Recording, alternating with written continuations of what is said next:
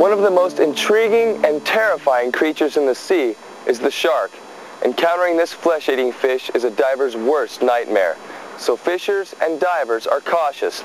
They avoid shark-infested areas, stay alert, and know which sharks are dangerous and which ones are docile.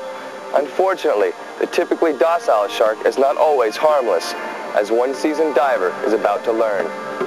We're underway. Okay. Vic Lloyd, his stepson Jim Plumer, and son Brian have been commercially fishing, scuba diving, and spearfishing for over 20 years. They usually head out to sea for five-day trips, line fishing from the boat, as well as spearfishing about 110 feet below the surface. They spear the fish and tie them to a stringer. When they're finished, they bring their catch back up to the boat to weigh and pack in ice. At the close of this particular trip, they decide to move to one more spot and make one final dive before heading back to port. This fateful dive, however, will never be forgotten.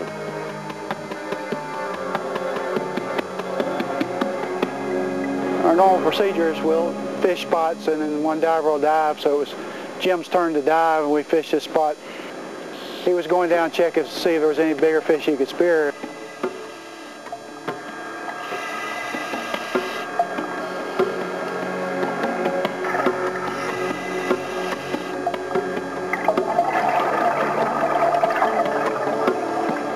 Down like three or four minutes, we heard a shot. You know, almost instantly he was on the surface yelling, and he said he'd been shark bit. It was bleeding bad. We couldn't get his uh, shoulder to stop bleeding, so we knew we had to do something quicker than coming in here at 10 knots an hour. 458, this is Drew Mayfield, Roger. Be advised, a report of a shark attack approximately 31 nautical miles east of the St. John Seabuoy same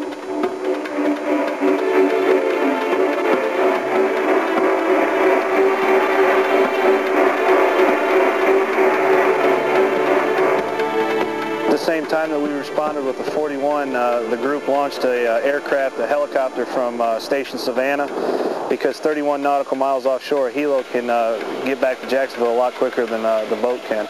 Once we got offshore, we called up the boat and I was uh, talking to the master seeing if there was any way that they could get um, some vital signs for us. Um, he said the guy was stable, but that he did have a um, flesh missing from his back. All you could do was put steady pressure on it because uh, shark grabbed him. Every time he shook him, it was just new cuts. It was ribbon. It was ribboned up.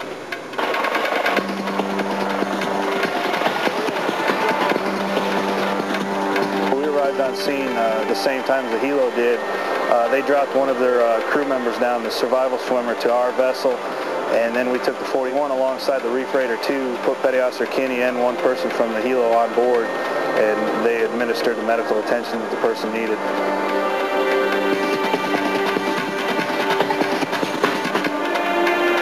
He had a good six-inch laceration to his upper left arm and about a 12-inch laceration in a half moon shape, you know, a typical bite mark along his back shoulder blade. Probably his shoulder blade stopped the teeth puncturing maybe the back of his lungs. With the type wound that he had, uh, we determined to put on a battle dressing which is a, a, gauze with a cloth backing and it has straps already attached to it so it can be secured tightly to the, uh, to the wound.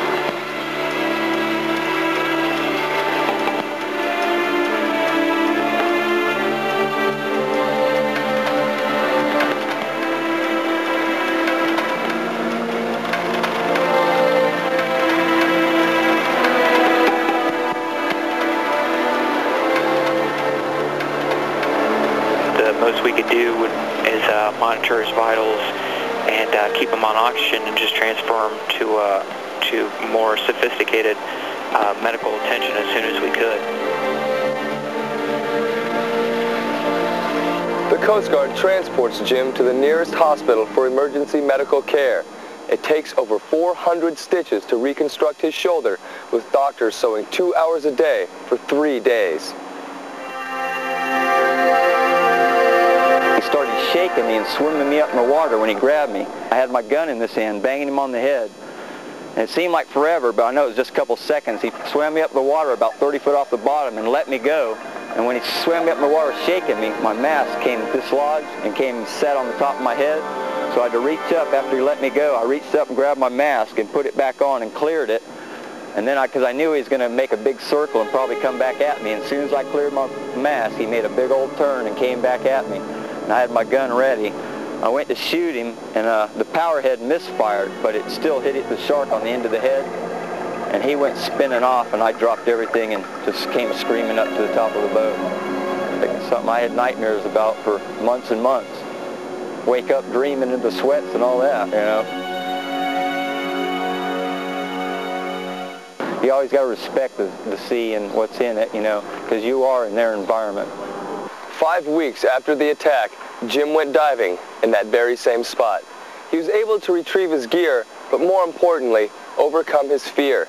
Despite the trauma, Jim is still an avid diver and spearfisher, and sports a tattoo of a shark just above his scars. Don't go away, we'll be right back.